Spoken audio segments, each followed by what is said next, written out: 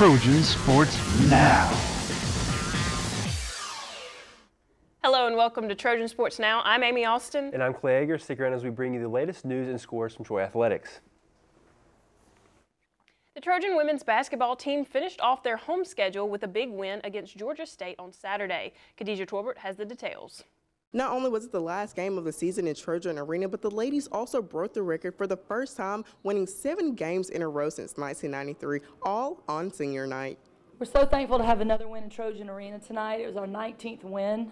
Um, and we had a lot on our minds tonight. It was senior night, and we said, you know, goodbye to our four seniors in Trojan Arena. It was their last game, and that's an emotional thing. And, and, we wanted them to have a good senior night and go out with a win. Of course, the most important thing was getting this win, but still in the makes, we were hoping to um, play a lot of people and to begin to prepare to be our best and have as deep a, a team as possible when we get to the conference tournament. Um, so a lot of those goals were met. Um, we did have a good senior night. We got the win, and uh, we got to play a lot of people and put them in situations where they had to produce so we could win. Among the goals that were met at Saturday's game was the support of the fans and the atmosphere they brought with them to cheer the seniors on to victory. I would really like to thank all the people that were here supporting us. We could really hear them, we could really feel it. Um, and uh, it made for a great atmosphere in Trojan Arena. And that was a great way to send the seniors off, and it's a good thing for us to build on in our program to recruit to for next year. It took the Lady Trojans just over five minutes into the game to take a double digit lead over the Panthers. Um, most things are predicated on us causing turnovers.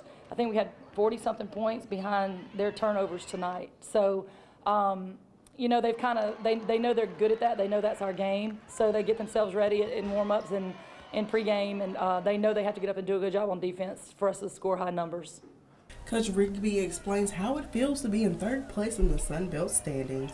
I mean, it feels great. Um, the fact that we have one game left, and if we win it, we could have a 20-win season. Because that's one of the first goals I set when I got to Troy was to try to have a 20-win season and there's of course been a lot of ups and downs along that road but um, we just need to uh, prepare as well as we can for south alabama and uh, try to take care of business and have that 20 win season and go into, pan- into um, to conference tournament with as much confidence as possible khadijah Torbert, trojan sports now the Trojans are now 14 and 5 in conference play and sitting at the number 3 seed for the conference tournament.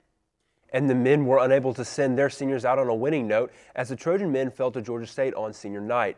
Troy lost to the Panthers 75 to 64 in their final home game of the season. Musa Abdul Alim, one of the two seniors, scored 12 straight points for the Trojans to close out the game on his way to a game high of 19 points. Freshman Wesley Person was the only other Trojan to score in double figures as he poured in 12 points, which allowed him to set a new Troy Division freshman scoring record with 387 points. The loss officially eliminated Troy from the Sun Belt tournament contention. The basketball team will look for a win as they close out their season. Their conference record is 5 and 14, while the Trojans' overall record is 10 and 18. Troy's softball team made it to the championship game of the Stetson Invitational. Troy faced off against the host team Stetson. Troy fell to Stetson 9 to 3. The Trojans took the early lead and were ahead 2 to nothing headed into the bottom of the fifth. Stetson pounded out runs at the plate to score eight runs in the inning. Troy was only able to answer that rally with one run, which Stetson quickly answered in the bottom of the eighth. Sophomore Becca Hartley was the offense for the Trojans as she went two for three, one of those hits being a home run.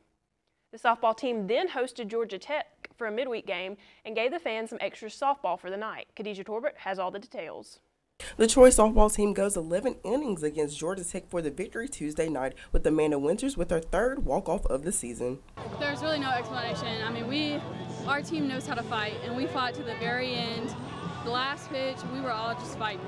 So I knew JC was on the mound throwing her heart out, and I didn't want to, I didn't want to disappoint her. So I just came out with the best guy I had for her. Coach Mullins has one word for the actions her team displayed throughout that game just fight. I mean, our girls have a lot of fight in them. It wasn't pretty at all times, but our pitching staff did a tremendous job to keep us in that ball game, and our hitters fought despite the fact they had not had a lot of success.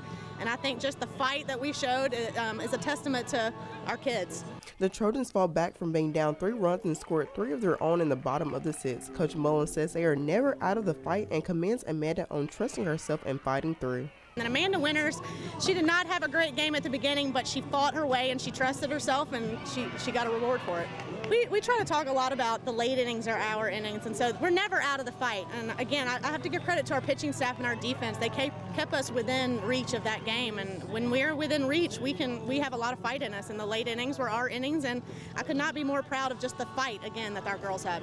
Not only did this game give the team momentum, but it also gave them a positive outlook for the upcoming conference play. Well, I'm extremely excited. I think this gives us momentum into this weekend so we can start conference and just get ready to go. Khadijah Torbert, Trojan Sports Now. The softball team is now 13 and 8 on the season. The baseball team, the baseball team took on Southern Mississippi over the weekend.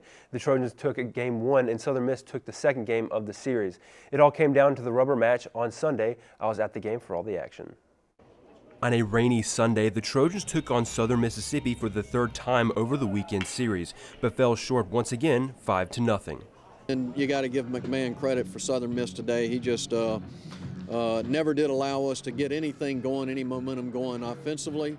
Uh, so I give him a lot of credit. It wasn't only the defense that was having problems, but offensively, Troy struggled as McCann struck out eight Trojans in just 113 pitches. We couldn't get enough balls off the center of the barrel.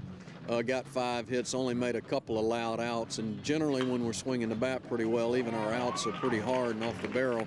So those hits were spread out. Uh, he did a nice job of that. Never could really uh, get a big inning kind of going. Um, that you have to credit the pitcher for that.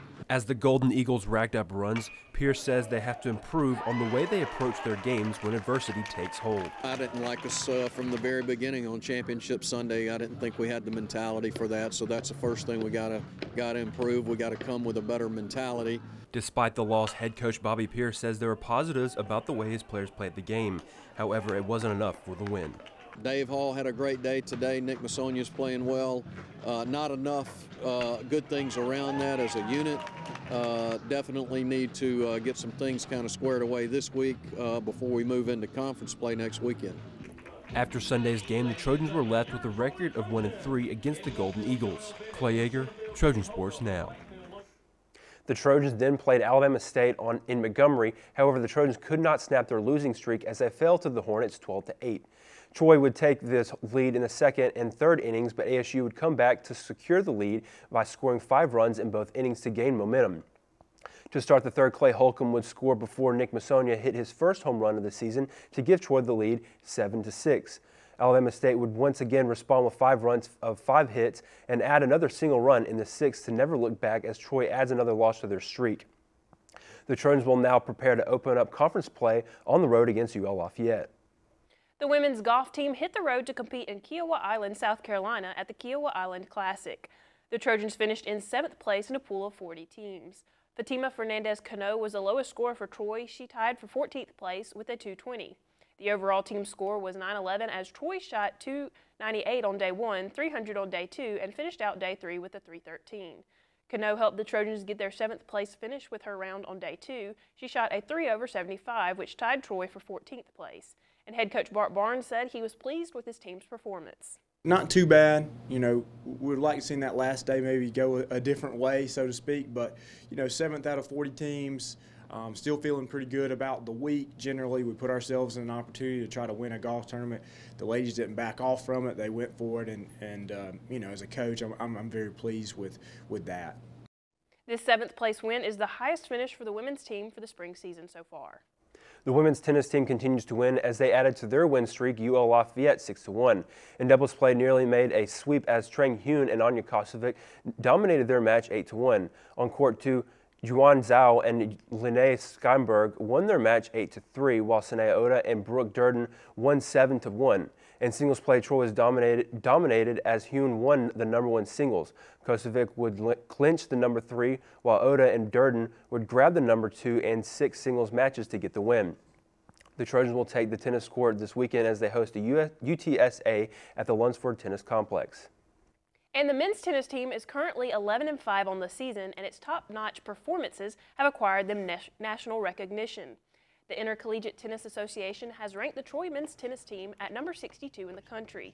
Troy has won six of its last seven matches and is currently 4-0 in conference play. The latest match for the Trojans was against a ranked opponent. South Alabama was number 47 in the country, and Troy defeated the Jaguars 4-3. The ranking is the first for Troy in over four years when they were ranked at number 70 in 2011. Still to come on Trojan Sports Now, we'll have a preview of the women's basketball team's latest game before the conference tournament. But first, I had the chance to sit down with softball assistant coach Taylor Smart. Stick around for more Trojan Sports Now.